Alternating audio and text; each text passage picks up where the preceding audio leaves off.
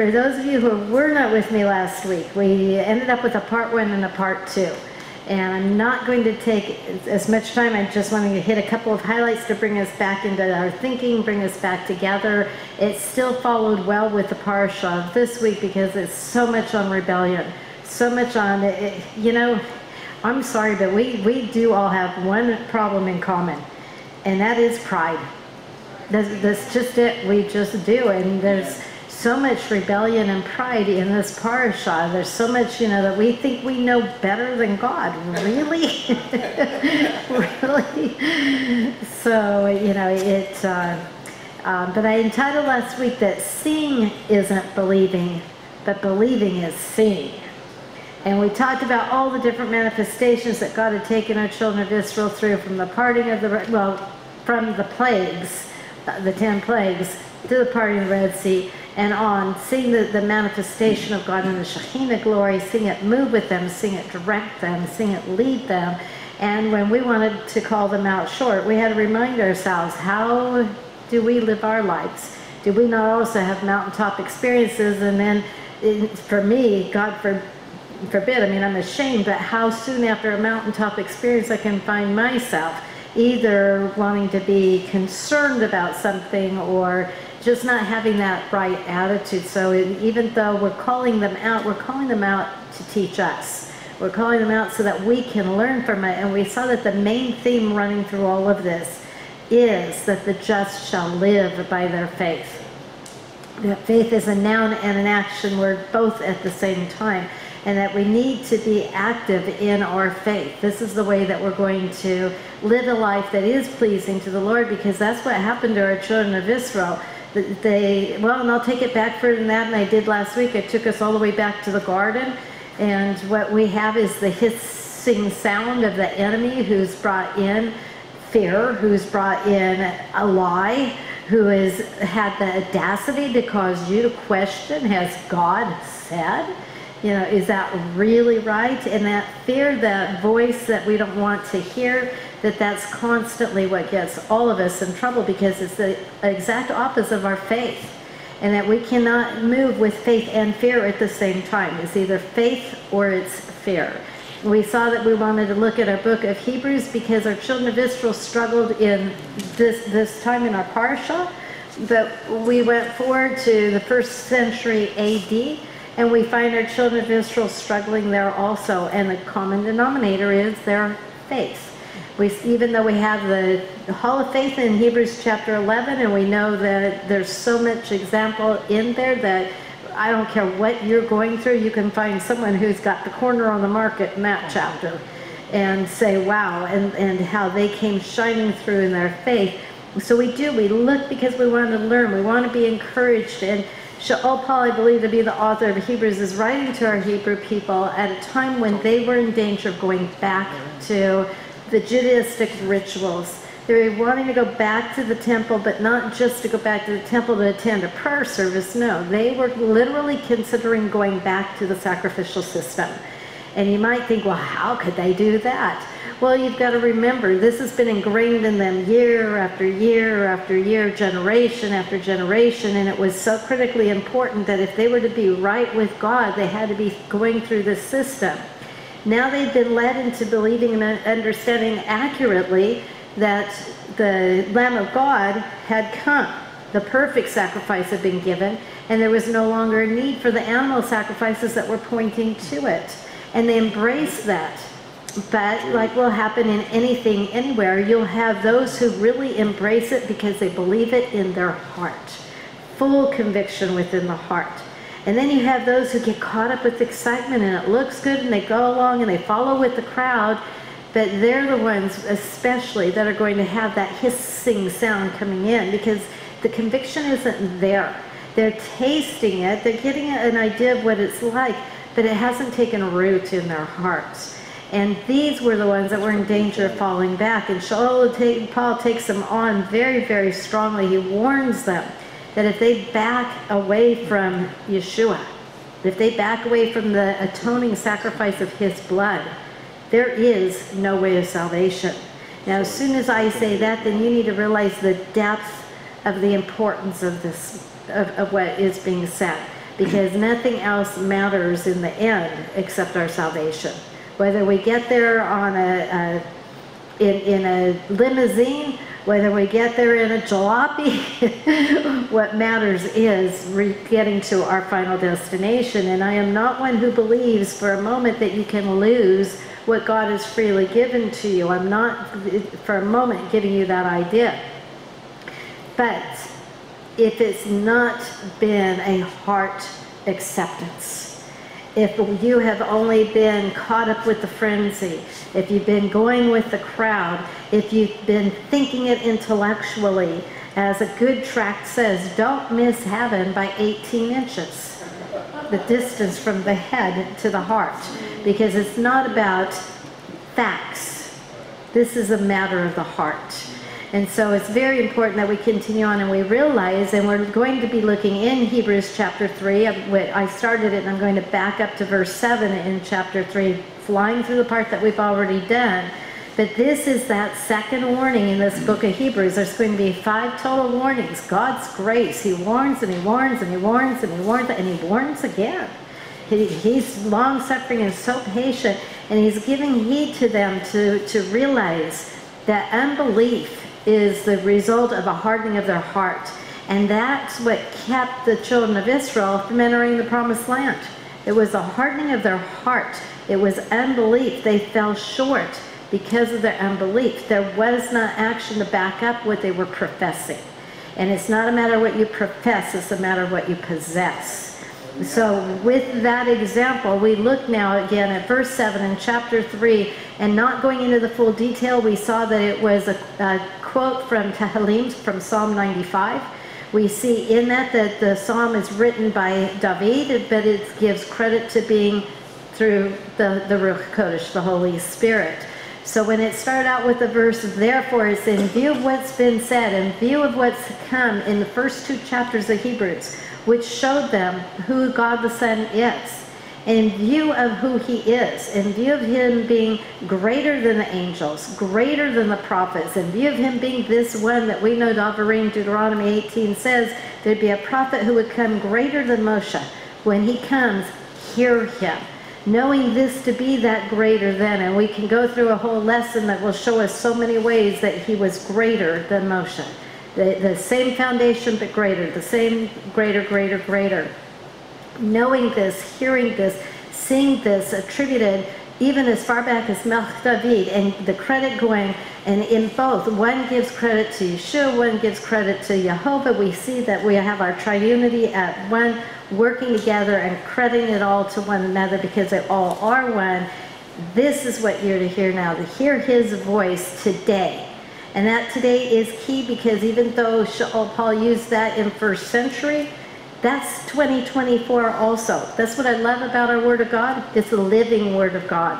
This is not dead works. This is not the, the sayings of dead people. This is the holy living Word of the holy living God, and we are to hear it.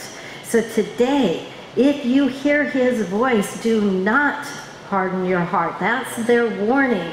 And actually, that if tells you there's something contingent here. If you hear. Now, if you're not hearing, you're already in trouble. Because if you're not hearing the voice of God, you are not in the right place. So you're, you're already in trouble. Your heart's already been hardened, and you need to change that heart to hear His voice. And when it says His, that's a very clearly Mashiach, Messiah, because that's the one that they've been talking about. The one that's been represented in chapter 1 in the very beginning, where God said He spoke in times past through the prophets. He's spoken in the last days by His Son the son that is over the house that Moshe served in. This is showing you the greater one. It also shows you that Yeshua is God. He is the Son of God and He is very God Himself. It is His voice that we're to hear. That's who is spoken to us. And when we listen, then we won't have this issue. We won't harden our hearts. And so, as verse 8 says, harden not. And the tense is don't go on hardening. It's as if they're already in that motion and they're, they're being called back. I see uh, someone standing at the edge of a, of a precipice and someone rushing up and this one is standing there saying, no, slow down, you're going to go over the cliff, it's going to be your fall. And if they don't heed that, they don't listen, then they are going to go right over the cliff to their demise. Harden it not. Don't go on in the way that you're going on. Do not harden your hearts as when they provoked me. That word provoke, and by the way, the example being given is the children of Israel in the wilderness that hardened their hearts against God and didn't get to go into the promised land. They continually, we're going to see the 10 times they tried God. I don't want to try God once. well, you know how God took it? He was provoked. He says they provoked him. Other English words for this is exasperation. I don't want God exasperated with me. But they were provoking God's mind against them in the same way that they murmured against Moshe. And look at what they did in this parasha, how even after God showed his displeasure with those who rebelled and who called it out and said, it should be me, and they weren't going with who God's choice was, even after the earth swallowed them up, the next day, we're not going past 24 hours. The next day, they're coming up in Moshe's face and they're ready to stone him. They're done with him. Okay, okay. So they provoked God. It says, as when they provoked me, as in the day of trial in the wilderness. And that day means that period of time. That's not the 24 hour, but it was 24 hours later when they took Moshe on. Okay, and that you may have the word trial, you may have the word testing, as in the day of testing or day of trial. It is to put to the test. And that's what I found extremely eye opening to what was going on. They were putting God to the test. Oh, yeah, exactly, exactly. I mean, this shows me the long suffering mercy of God because I think any one of us who would be put to the test by someone inferior, someone who doesn't have the right and doesn't shouldn't own that position, and in our humanity, we're going to say, "Oh yeah, oh yeah, let me show you." but God doesn't do that. He didn't let them off with it either, though. He didn't let them show him that disrespect. That he uh, allowed them as they were going through that time to try to awaken them and yet there was a severe consequence to their actions. And he said that in that putting him to the test, or I shouldn't say he, but the Greek meaning behind that is to see what good or evil is in a person. Now, if they're trying a God to see if he's a good God or if he's an evil God, again, I am just amazed that they weren't turned into crispy critters on the spot and nobody could fault God if he had done it, you know, to be very honest. It, but it was as if to see how much would God bear? How much could they get away with? And suddenly I see a little child who is trying his parents. He knows how to push the buttons and he knows just how far he can. And then he'll pull back if he's smart because he doesn't want to get that wrath. But if he's not smart, he keeps on going and hits the wrath also. But what an insult to God. The God who spared them, the God who took them out of slavery, the God who's been feeding them, the God who has been providing everything they need shelter, provision, food, water, every necessity. This is a God that they're saying, You need to prove yourself to me. Are you good, God, or are you not? Do you not hear the hiss all the way back in the garden again? Has God not said? And so that doubt into their minds that God would be anything other than all truth and all good. And it, we're told in Shemot in Exodus 17 7, they tested the Lord, saying, Is the Lord among us or not? How could they question that?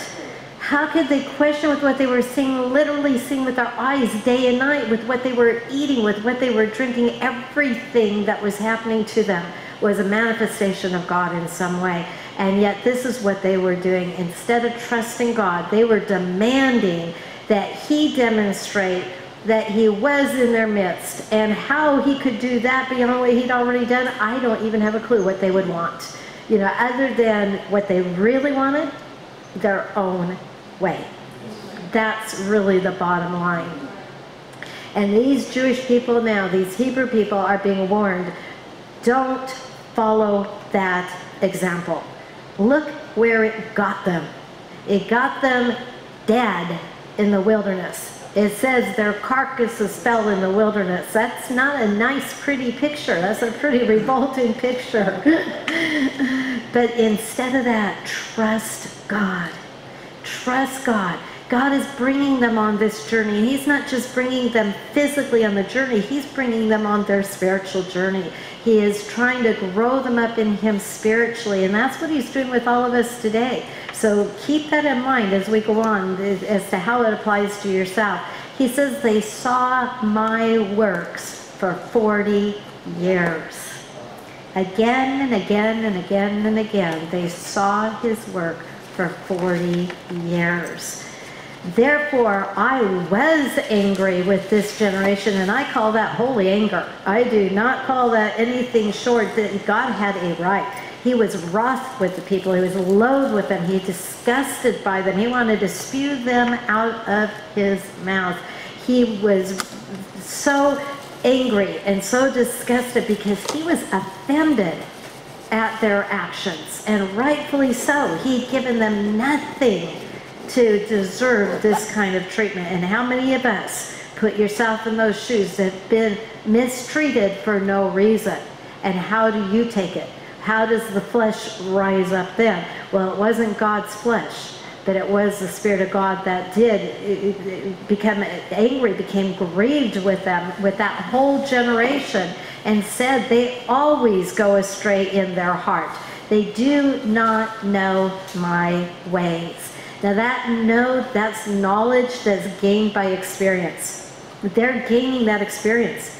If they didn't know at day one, what should they know by, by year five and year 10 and year 20? How can they be so ignorant of this? I honestly, I'm not cutting them slack. I'm not saying we're better, but I'm not going to cut them slack because it was so evident. It was blatantly evident and when it says that they didn't know his ways, that doesn't mean that they didn't know what he was doing. Obviously, they knew he was feeding them, he was protecting them, he kept their clothes from, from wearing out their sandals. I haven't had a pair of shoes last for 40 years. so obviously they knew that, but what it's saying is that they didn't know him. They didn't know his character. They didn't know his character really says it best.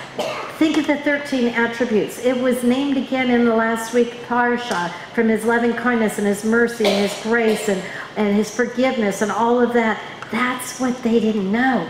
They were clueless. Have you ever been around somebody and thought they don't get me? They just don't even know me. They don't understand and they're missing the whole picture. That's where these people were. They were missing the whole thing. They did not know him, even though he, upfront and personal, presented himself to them in a very hands-on, tangible way. It wasn't abstract that they couldn't see it. It was there. So that's why, with that in mind, verse 11, as I swore in my wrath and my anger toward them, they shall not enter into my rest. They don't deserve the promised land and they're not going to get the promised land. That's just it. He finally, the consequence fell. And it didn't fall until that had happened 10 times. Bamidbar, Numbers 14, verses 22 and 23 tells us that it was after the 10th temptation, the 10th trial, when they were trying God for the 10th time, that's when he finally said, enough. That's long suffering. That's patience. That's grace. That's mercy. And so he did finally say, They certainly shall not enter my rest. And that's a Hebrew idiom. It's a very strong negative, and in essence, with no disrespect to my God, man, they basically could be said, May I not be Jehovah if they enter in. That's it was it was over. There was no bargaining, there was no coming around, there was no, oh forgive me, forgive me, forgive me, I'll do it right this time. No, it was done. It was done. That rest would be a cessation of activity, and the idea would behind it was even that it would be like a permanent rest for them. It would be a rest if, if they had gone on and entered into Canaan the way that they were supposed to they would have had peace in the land also. The rest would be the rest that only God could give. It would be from Him. It would be a contrast to slavery in Egypt. It, they would be in that land with their enemies defeated. This is what God promised in Davarim in Deuteronomy chapter 12, verses 9 and 10. You can look it up and read it later that God promised them, and I think I'll even quote it in just a bit for you. Finally, Israel will know this. Finally, in the millennial kingdom. Israel as a nation will be in the land and the enemies will be defeated because the Lord's sitting on his throne and anything that would come up, the Lord would put a stop to immediately with the rod of iron that he is going to judge with.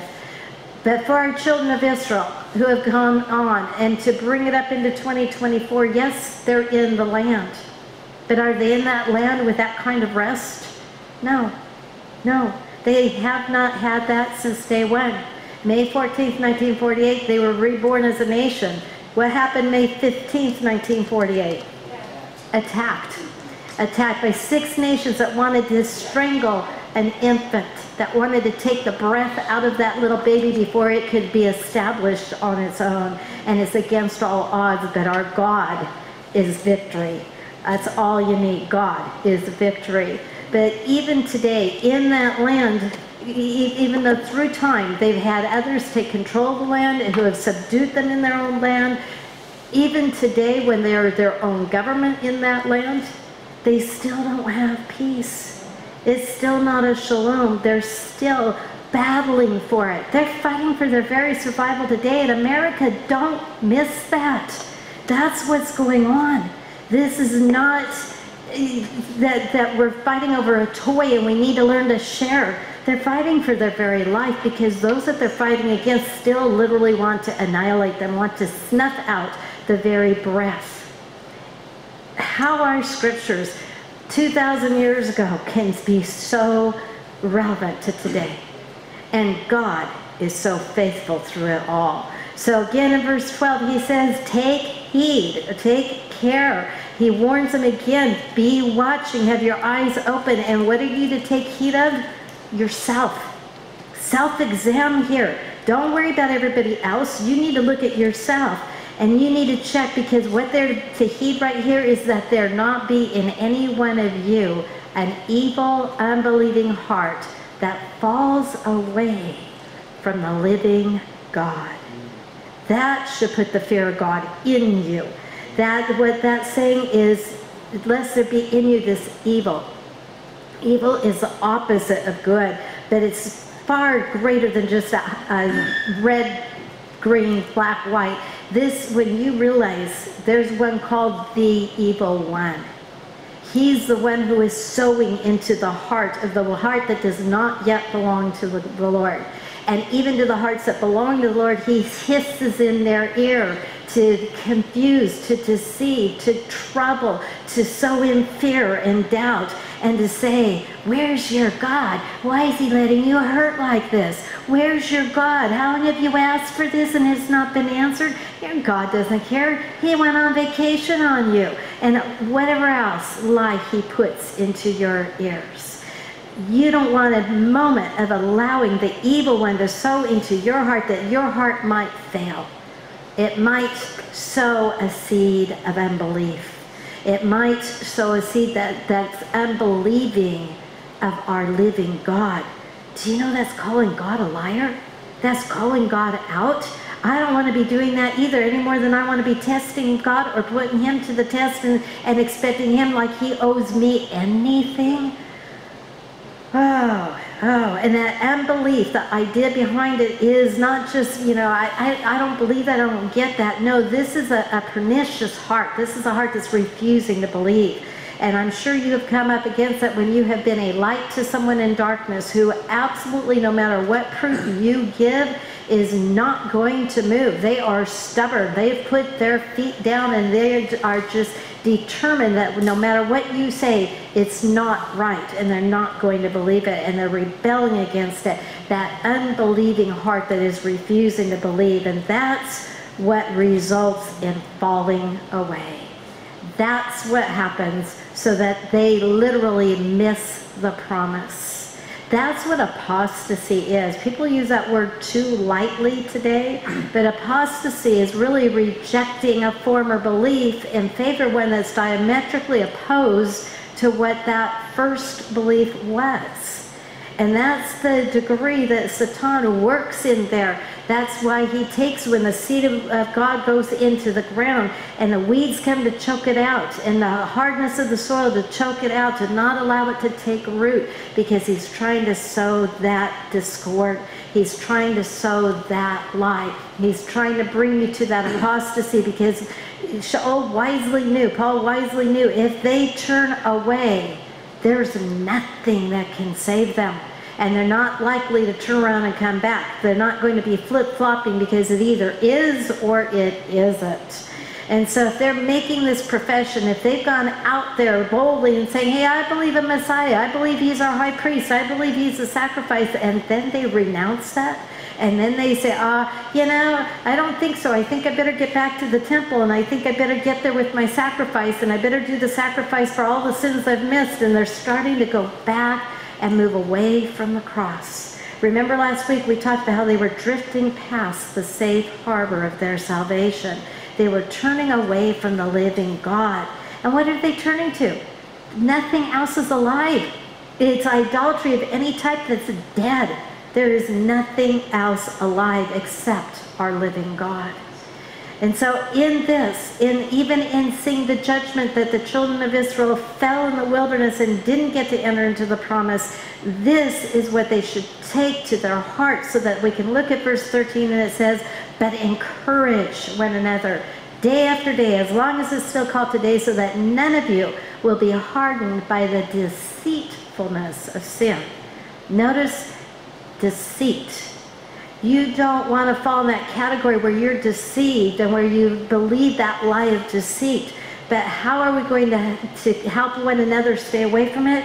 Is to encourage one another, to come alongside our fellow believer who is struggling, who is beginning to want to ask those questions that are so wrong, who is beginning to want to say, well, where is God? And does he care?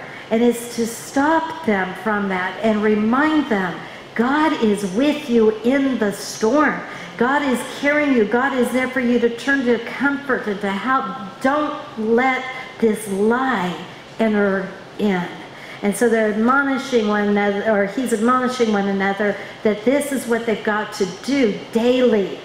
Daily. And I will warn you, when you are in a trial, do not isolate.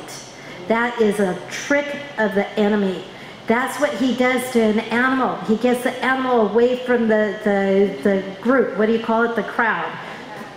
The pack. The pack or the herd. He gets them isolated. And once he has them isolated, they are so much weakened right there. And who does he go after? The strong ones? No. No, just like Amalek did. He goes after the weak. He goes after those who are struggling, the elderly. And I don't mean age here, but I mean those who are not doing what they need to do to feed themselves continually so that they stay in a place of strength. That trial is not to knock you out. That trial is not to see how many of you can God get to fail.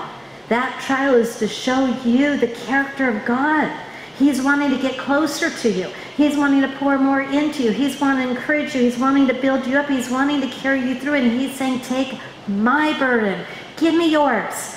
Throw it at me. Let go of it. Take mine. You know what mine feels like? It's light. It's easy. Well, I can carry a light and easy burden. Don't give me Roger's 50 pound pack, but I can carry a light and an easy. And that's what the Lord is saying, is he wants to be in that position to encourage you in that. And if you're not being encouraged in it, then you're listening and you're hearing the hiss and you're in danger of moving away from the very thing that you need the most that will help you.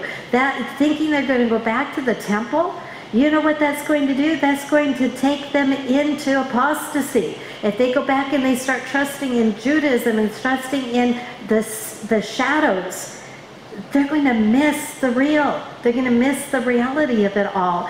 But he's saying that's not what you people are. You Hebrew believers here, you've gone out and said you believed in Messiah. You've accepted Messiah. There's a difference here, and that's in verse 14. For we become partakers of Messiah. If we hold fast the beginning of our assurance firm until the end. Now, that doesn't mean that if you have a, a day that you doubt that you're not saved. Again, what it's saying is if it's in you, if it's taken root in your heart, if you've really partaken it's become a part of you, then that's going to carry you to the end. That's what happens as the Lord carries us. You're a co-participant with him. But that cannot be because your friends did it and you followed along. That can't be because your parents said this is the right way and you said, okay, I'll do it because mom and dad said it. That has to be the conviction of your heart. And if you have become a partaker, the Greek shows it again as a completed act. You know what that completed act in that Greek tense means? It means it happened at a point in time and the results go on forever. That's how God always refers to your salvation in Scripture. It's never a start, stop, off, on. It happens at a moment in time and it goes forever in its results. That's what God has given us. And so he tells them to keep from the beginning, keep that confidence you had. Don't listen. Don't allow this to, to come in and to influence you. All it's going to do is rob you of your joy. It's going to put you in a position that you're not going to be receiving the blessings of the Lord because it's going to take you to a dark place. And if you're in a dark place, I want to ask you, how did you get there? Because when the Lord walks with you, the word of God is a light unto your feet and a lamp unto your path. The pillar of fire at night, the cloud by day. They did not walk in darkness. They had perils. They had trials. They had an Egyptian army that wanted to, to take them out right in the beginning. They were facing hardship, but God never failed them, and they didn't walk in the dark wondering what was going to happen. So verse 15, he reminds them again not to harden themselves. It's a repeat for the emphasis there. Because of, of lack of time, I'm moving quickly into verse 16. Who provoked him when they had heard. I'm sorry, for, for who provoked him when they had heard? Indeed, did not all those who came out of Egypt led by Moshe? The whole generation, the only exception was Joshua and Caleb. Joshua and Caleb, they were the only two out of that entire generation. We don't know how many that was, but that was not a small number. That's amazing. That's uh, heartbreaking. But that was national unbelief. And I'll take you to Israel today. Israel has that heart today. There's a Joshua. There's a Caleb. There's those who are calling it out who are saying, Israel, turn back to your God. Be strong in your God. Look to the God for salvation. God will bring you past Hamas and past Hezbollah and past whoever else is coming at you. But nationally, they're falling away. They're not hearing because they've not in a place, they've not embraced, they've not accepted Messiah to hear the voice of the Lord. And the same way that the Lord did not end Israel in the wilderness, he does not end Israel in 2024 and beyond. He does not say that's an end of the nation. Those who will not come in, they miss out on the promise. But those who will come in by faith, remember the only way we can please God is by faith they go on to inherit the promise. Israel will go on and inherit the promised land. But you know what she says before she inherits? She says, Baruch haba b'shem Adonai. Blessed is he who comes in the name of the Lord. And you know when she says that? When she's looking up and she sees the Son of God coming back. She sees the nail-pierced hand. She realizes and she mourns, wow, you were Messiah. You were here before. This is your second coming, not your first coming. And those who look in faith are saved. And they go into millennial blessing because God is faithful to his word.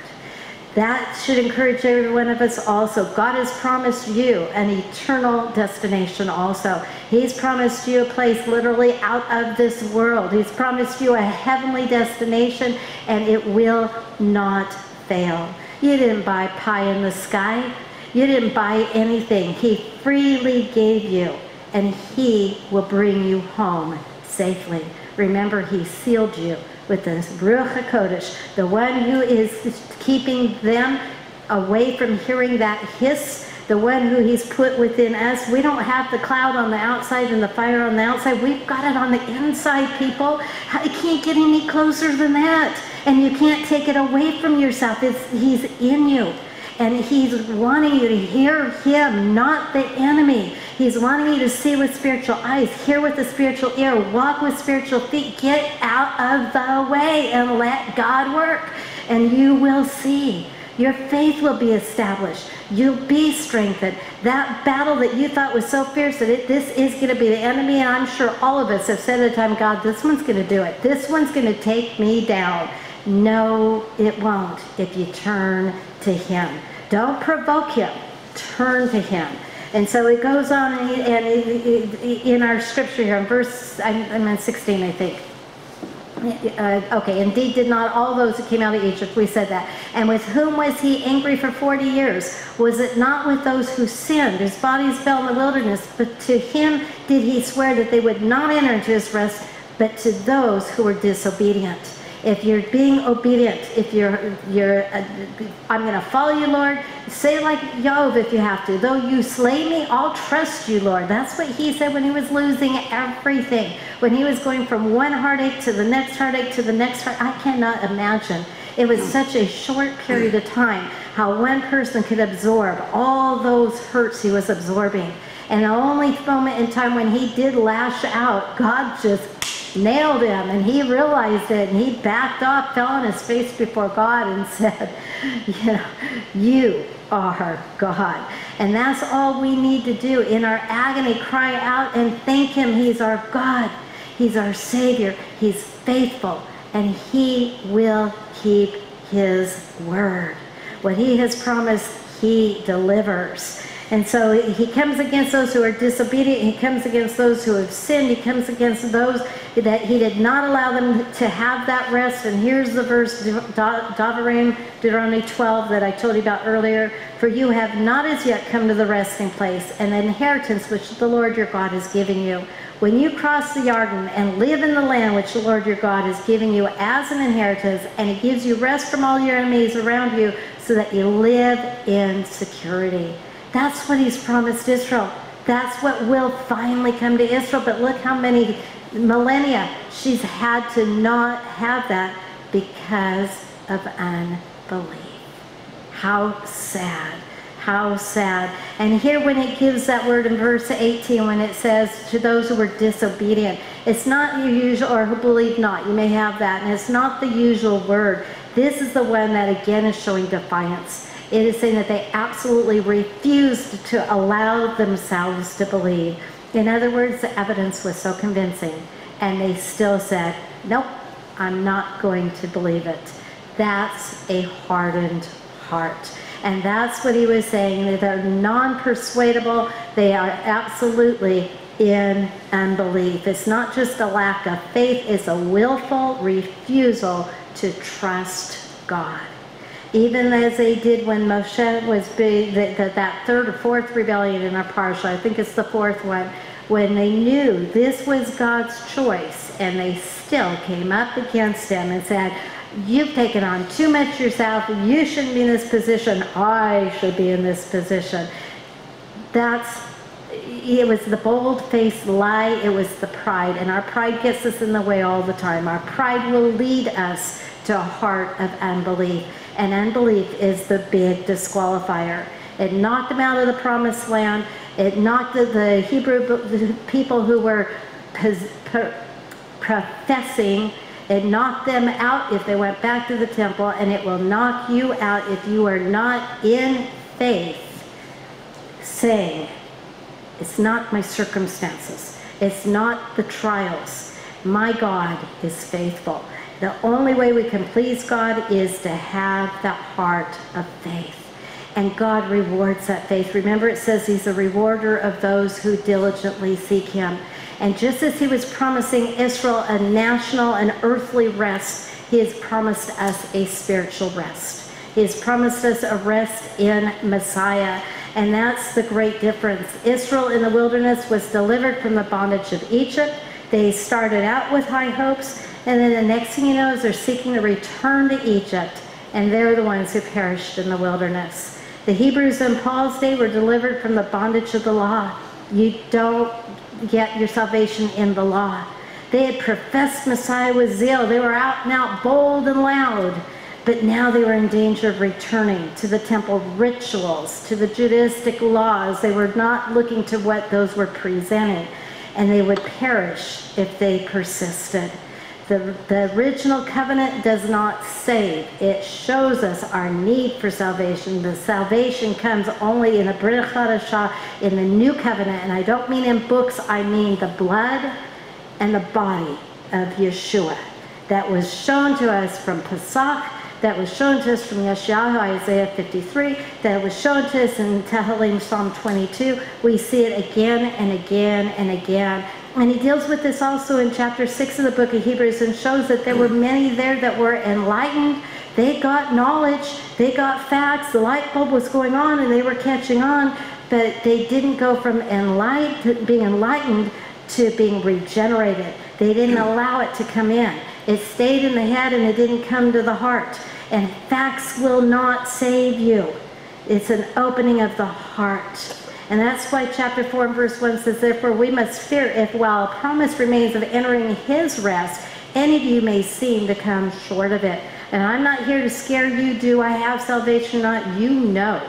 Because God doesn't play with you. He doesn't say, well, today I, will say you're saved, and tomorrow I'm going to tell you you're not. That's not God.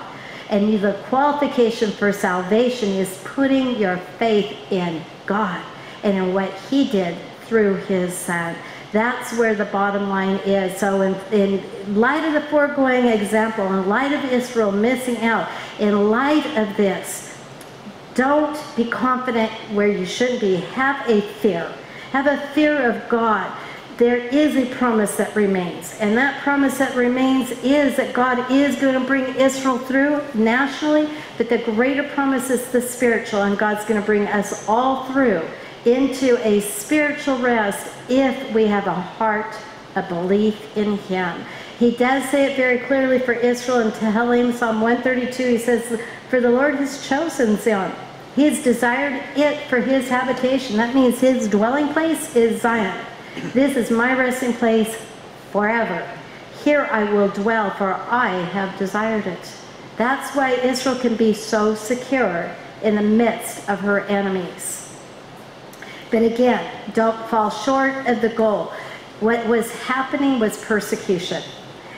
Many of you today, if I went around this room, I'm sure you could say you, you've either been in a trial that you would consider a persecution, or you have been, you are, or you will be. I'll just put it that way because as Greg Laurie, I think, was the one that said it, for a believer, you're either in a trial, coming out of a trial, or going into trial. One of the three stages, and that's it. And in the original covenant, the persecutions were God's wrath very often. Not always, because look at Yoav, it wasn't. But very often, they would suffer consequences of their disobedience. But in the Brit Chadashah, it is clear again and again and again that the persecutions, that the trials, that they're there not as a, as a, a, a judgment, but they are there to grow us. They are there to test us, to see where we're weak, where we need to shore up. That's what a good teacher does. A good teacher wants to know where your weakness is, not for their sake, but for you, so you'll learn where to shore yourself up. Okay, I have a problem trusting God in this area. It might be finances. It might be workers that you can't get along with. It might be something I can't even think of right now. But you know what it is. And there will be a scripture. There will be something in the Word of God that will tell you this is your answer. But if you're not reading His Word, you don't know Him. You don't know His character. You don't know His mercy and His tender, loving kindness. You've got to get into the Word. That's why faith comes by hearing, hearing by the Word of God. You see how it all comes together? The whole thing. What was wrong was the children of Israel weren't hearing. They were hearing the enemy. You know, if you have a radio station and you get it a little bit off, you have nothing but static on the line. And a lot of you in your spiritual life have static on the line. But if you tune in to the voice of your Lord and you're only listening to Him and you get it fine tuned, you hear Him. I encourage you, make sure that you're tuning in and that you're hearing because where are you today? Faith, full assurance in the heart, that's what faith is. And that can't be mixed with anything else. Anything else is unbelief. It's fear or it's faith. It's unbelief or it's belief. The righteous shall live by his faith. That's exclusively trusting in Yeshua. What are you putting your faith in? You sat in a chair tonight and you didn't worry about going down to the ground, did you?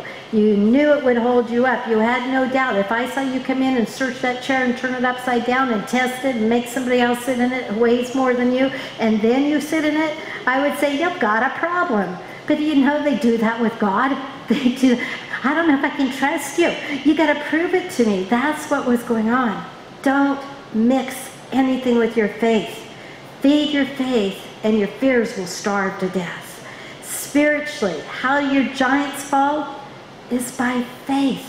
How could little David, who's probably my size, how could he take Goliath, six foot nine, full of armor, roaring, and the land shakes? How did little David take him down? That was my God. That was my God. I mean, God's the one who saw that rock go right to where he rocked this giant to sleep and down he fell. Do you have eyes of faith? Or do you have your eyes on the world? Are you looking at the giants or are you looking at the giant that is your God? Your eyes need to be on him. You're not of this world and your eyes need not be of this world. You've got to look with spiritual eyes, see the heavenly sights. You've got to hear with the spiritual ear. These are your aids. God's given them to you. So you can hear him, you can see him, you can walk in his in, in the, the path that he is directing for you. And as you walk by faith, you will suddenly realize that you're doing exactly where we started in Habakkuk. The just shall live by their faith. How do you live a life of faith? A step at a time in the Lord. Not in yourself, in the Lord. And that's where I'll leave it for tonight. I want to encourage you. I know, factually know, there are people in this room who are discouraged in their faith. I go in a room and say that. That's, that's uh, what's the word I want? Common to man. but I can also tell you, there's people in this room who know the secret. And they know, get into the Word of God. Spend time with Him you want to know his character? How do you get to know somebody if you don't spend time with them? You don't get to know them. Somebody's caught your eye you want to get to know them, you spend time. You listen to them. You look at them.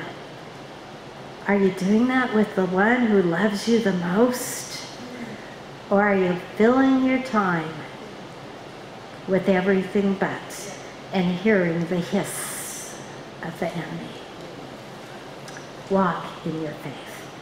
Go with God, and I promise you the eternal deliverance. Hallelujah. He's never lost one, and he never will. Bruce.